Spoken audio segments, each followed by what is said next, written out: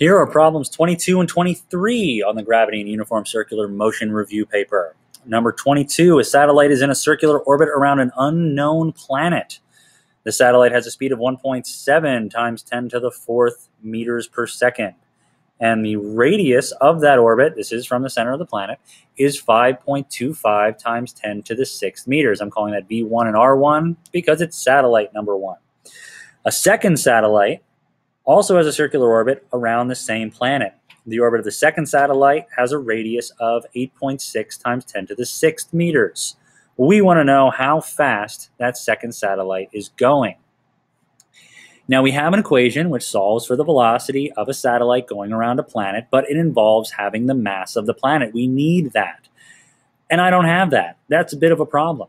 So what I'm going to do is I'm going to take a look at the first satellite since I know how fast it goes and I know its orbital radius. And I'm going to figure out, well, what's the mass of the planet? So I'm going to do that the long way where I have force of gravity is equal to centripetal force and I'm going to plug in what those things are and I'm going to solve for the mass of the planet. If you are looking at your equation sheet, you just have to do a little bit of algebra to get the exact same equation I have.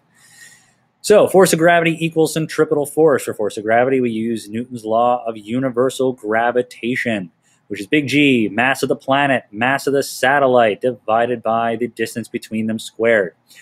And that's going to equal the mass of the satellite times the speed of the satellite squared divided by the distance between the two things. The mass of the satellite cancels in both cases, and r squared in the bottom left cancels with the r in the right. Now I'm looking for mass of the planet. So I'm going to multiply the r up to the top over on the right, which is why I have v squared over r times r. And g I've got to get rid of. I've got to divide g. So I'm going to divide it into my denominator. So that's why it's in the denominator on the right side. Now I can plug in some numbers. The velocity was given at 1.7 times 10 to the fourth meters per second. Don't forget to square it. Times that orbital radius of 5.25 times 10 to the sixth meters.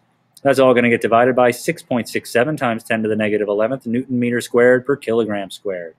And that tells me that the planet has a mass of 2.27 times 10 to the 25th kilograms. Now I can take a look at my second satellite pretty easily.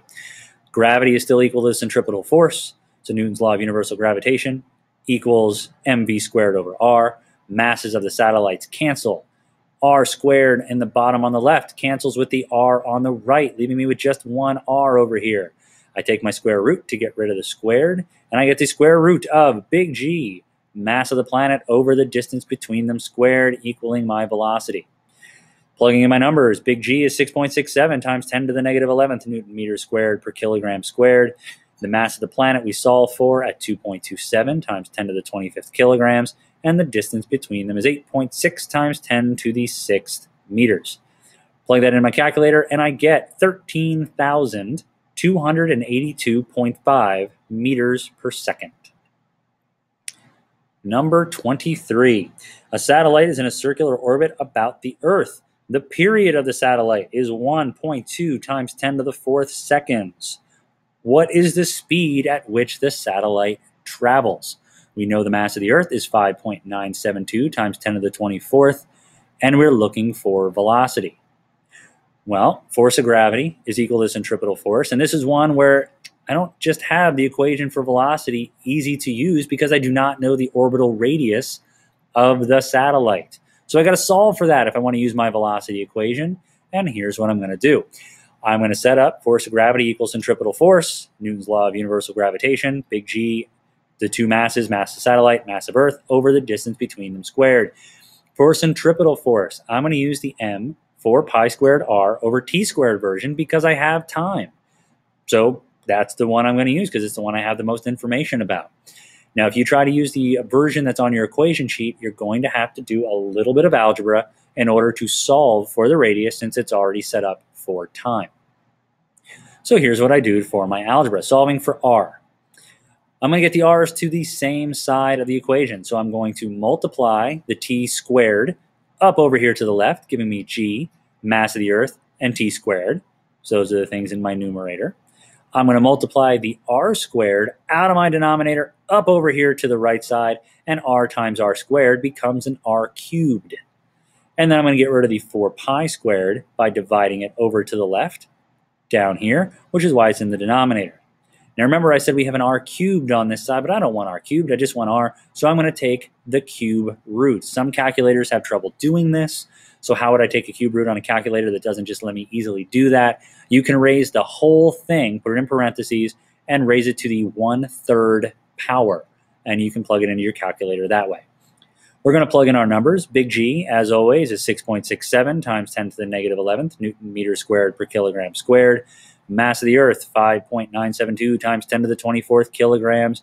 The time was given at 1.2 times 10 to the 4th seconds. Don't forget to square it. All divided by 4 times pi squared. That gives me an orbital radius of 1.133 times 10 to the 7th meters.